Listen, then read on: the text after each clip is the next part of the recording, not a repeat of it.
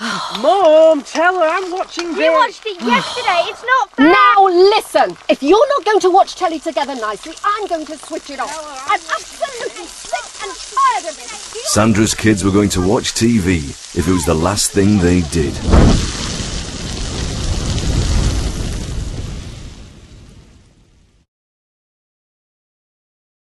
It was. Never leave cooking unattended.